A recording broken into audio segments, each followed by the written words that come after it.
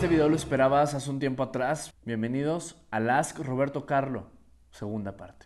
¡Hola! Estoy de vuelta. Es un video nuevo. Muy emocionado con un video, como ya les dije, muy especial. ¡Comenzamos! Bienvenidos al Ask Roberto Carlos, segunda parte. Antes que cualquier cosa, te quiero pedir que te tomes un tiempo.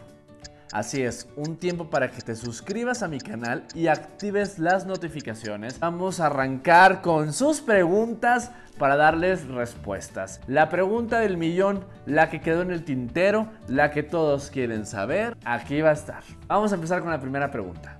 Giovanni de León 6934 me pregunta, ¿a los cuántos años perdiste tu virginidad?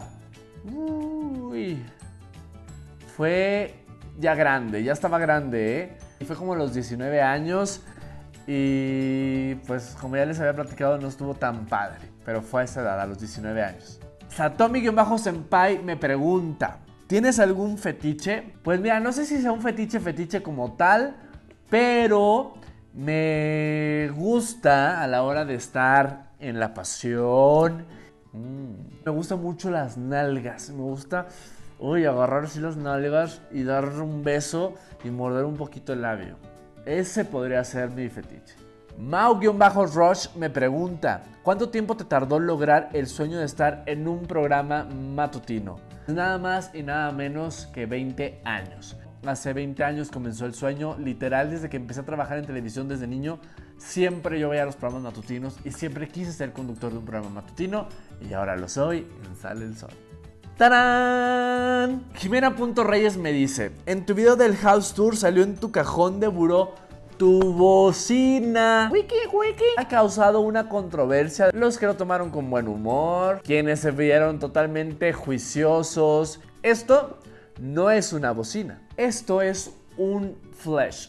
Esto es un masturbador. Fue un regalo de un amigo en el programa Sale el Sol, en una mesa donde hablamos de sexo en el programa nos llevó regalos a todos los conductores porque somos seres humanos, porque todos tenemos necesidades, porque a todos nos gusta el placer, porque todos nos queremos divertir, ¿o no? Me preguntas que...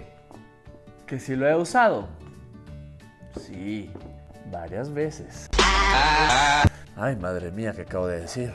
Fercho-VB me pregunta, ¿con cuál de tus compañeros de Sale el Sol te llevas mejor? Solo puedes mencionar uno. Con mi querida chula Paulina Mercado. Samara Rodríguez me pregunta, ¿alguna vez te costó alejarte de alguien? Sí, fíjate que antes yo me pegaba muchísimo a mis parejas, en mis relaciones amorosas. Me costaba mucho tiempo, mucho esfuerzo, muchas lágrimas el desapego, el dejar ir. Hoy en día las cosas han cambiado, mi mente ha evolucionado, mi corazón también ha cambiado, ha evolucionado y ahora creo que puede ser más fácil desprenderme, aunque el dolor sigue existiendo, es parte de la vida el dolor. Y más cuando pierdes a una pareja, cuando te alejas de una pareja. Pero ahora entiendo más el proceso de la vida y sé que si es, es. Y si no es, pues no es. Y no hay que forzar nada. Aunque duele al principio, ahora me cuesta menos separarme. Yo soy súper sentimental, soy súper sensible y me cuesta a veces, me cuesta a veces procesar algunos temas y el amor es uno de ellos. Bones Braven me pregunta, si regresaras el tiempo, ¿qué te gustaría cambiar? Nunca hubiera fumado, esa sería una cosa que cambiaría en mi vida.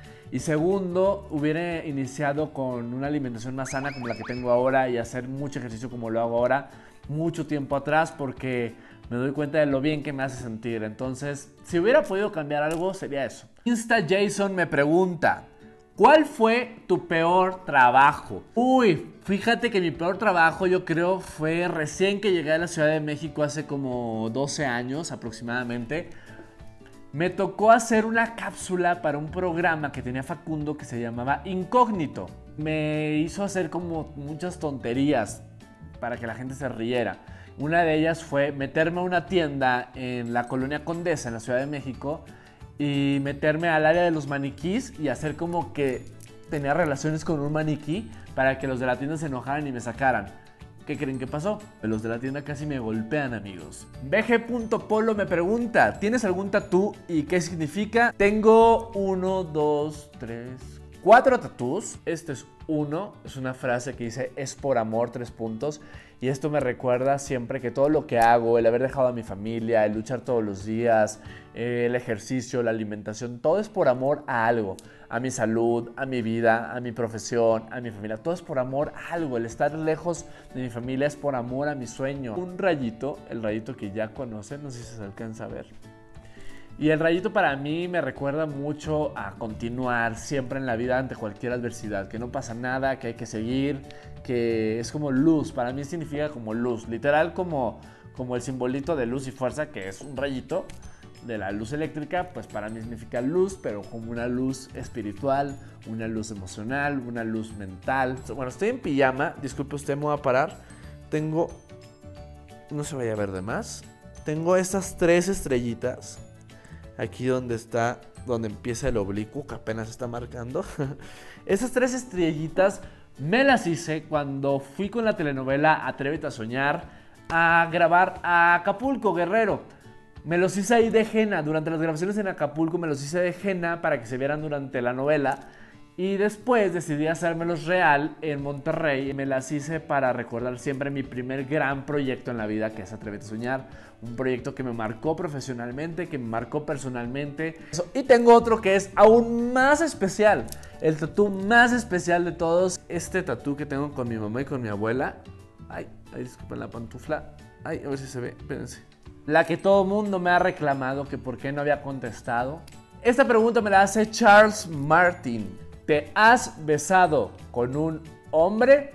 La respuesta es... En el próximo... Ay, no, mentira, mentira, es broma, es broma, no se enojen. Si la voy a contestar.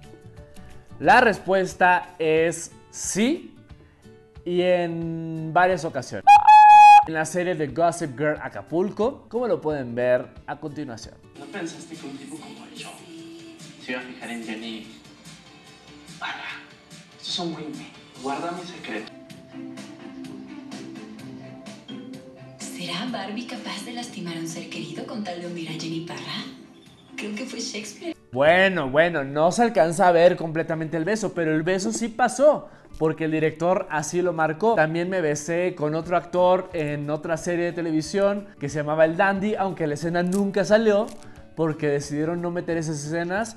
Em, pero sí, la respuesta es sí, sí lo he hecho.